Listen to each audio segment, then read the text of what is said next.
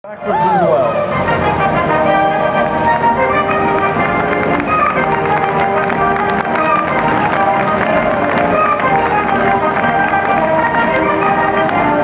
Just to prove the first one was no fluke, I'll just do it again.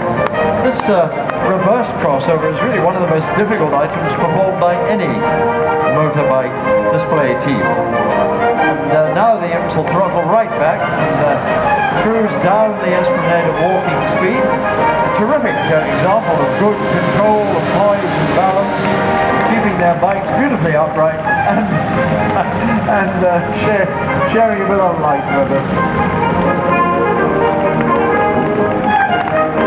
And now here comes Superman, eight-year-old Tom Galbraith on his